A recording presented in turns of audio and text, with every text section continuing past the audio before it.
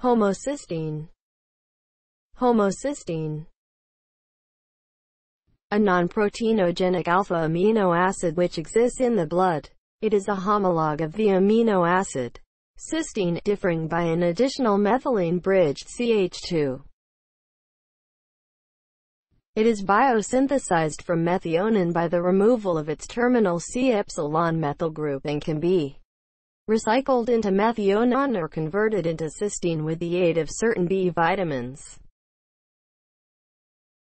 A high level of this in the blood, hyperhomocysteinemia, makes a person more prone to endothelial cell injury, which leads to inflammation in the blood vessels, which in turn may lead to atherogenesis, which can result in ischemic injury.